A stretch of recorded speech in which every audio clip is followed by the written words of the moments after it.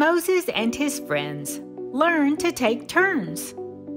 After God gave Israel water to drink from the rock, some enemies noticed the Israelites and came to attack them. These enemies were called the Amalekites.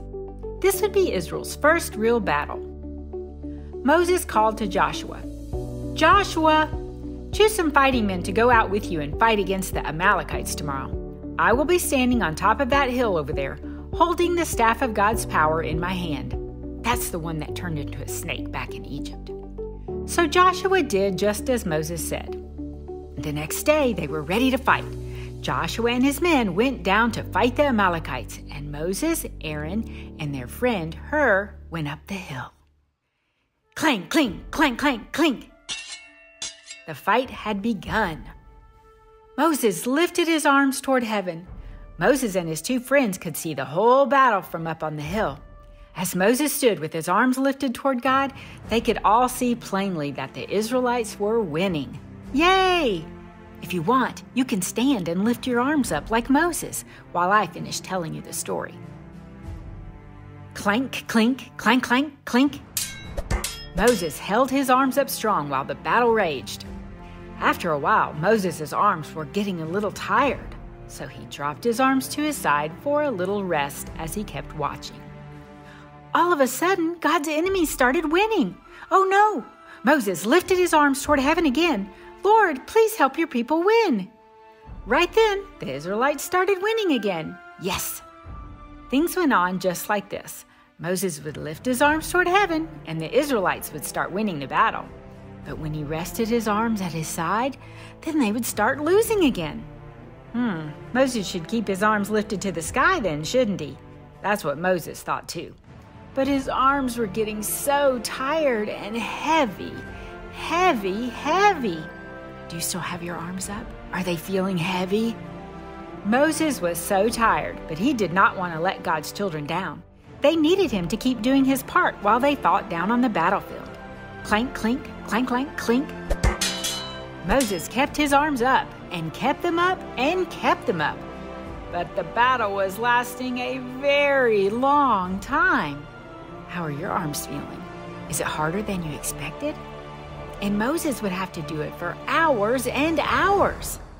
Moses' arms started to tremble then they started to shake hard. Then they started to droop down. He used all his strength and he pressed them back up toward the sky. But a minute later, they started to tremble and shake and droop again. On top of that, Moses' legs were getting tired too from standing for so long. What was Moses going to do? He, he couldn't stand up much longer. Do you want to know what happened next? Aaron and Hur rolled over a big rock for Moses to sit on. Ah, thanks. That helps my legs, Moses said. But it was clear that Moses' arms were the real problem. He was using all his might to keep them up, but his arms were starting to sag toward the ground. He wasn't going to be able to hold them up much longer. God's children were sure to lose the battle then. Aaron and Hur had an idea of how they could help. They rushed over to Moses, each grabbing one of his arms, and they thrust them toward the sky. Ah, Moses could relax his body a little. Thanks, guys. So there Moses, Aaron, and Hur were, with their arms raised high in the sky toward heaven. When Aaron and Hur's arms got too tired to keep holding them up, then Moses would take a turn holding them up himself. For the rest of the day, they were taking turns holding up Moses' arms. I know you know how to take turns with fun things, but did you know that you can take turns with hard things too? You can. That's what friends and families do for each other.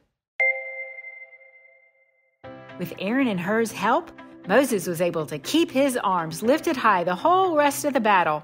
And because of that, God's family had a victory over the enemy that day. Woohoo! After the battle was over, God said to Moses, Write this down so everyone in the family knows from now on, for the children and generations to come. And make sure Joshua hears it too, so that he knows that I wasn't okay with how they were treating you. I'm going to deal with this. In the years to come, I will surely wipe the enemy, the Amalekites, from the face of the earth for what they did to you here. I will even wipe away the memory of them. Then Moses built an altar and called it Yahweh Nisi, the Lord is my banner. He said, For a hand was lifted toward the throne of the Lord.